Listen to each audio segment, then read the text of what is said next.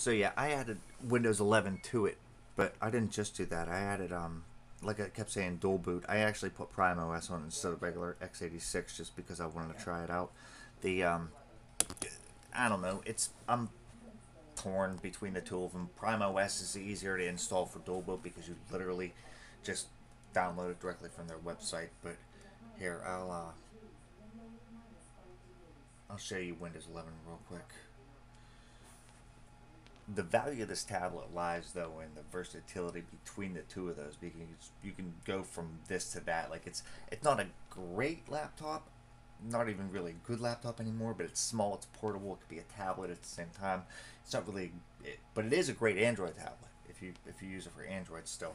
It's um here let me get in the Windows. If you use it for Android, it uh it still rocks.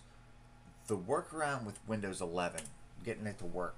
Um, so because of the TPM and the secure boot, um, that's what causes the Venue 11 not to be able to um, upgrade to Windows 11. So I I googled. I was like, you know what? There has to be some type of workaround that I could do to get there.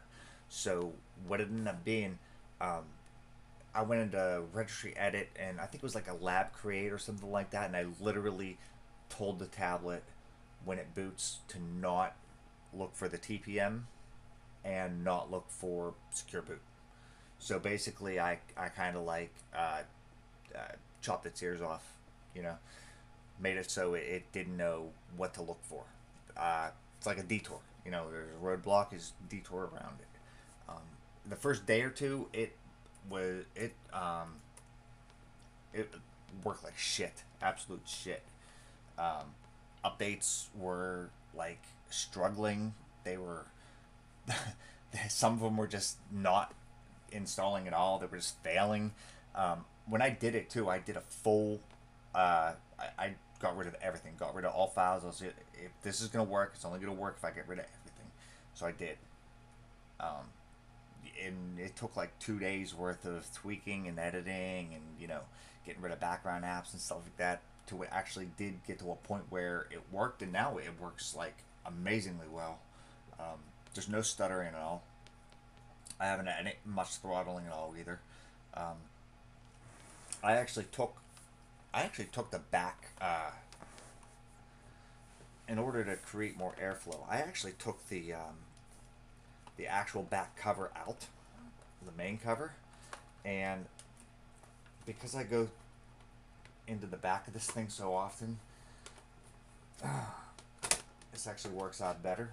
I use uh, like a armor thing as the actual back plate itself, and um, it doesn't get nearly as hot.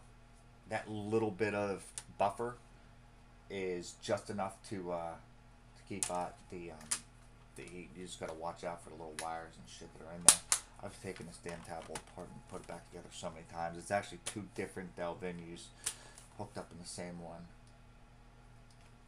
But yeah, it worked.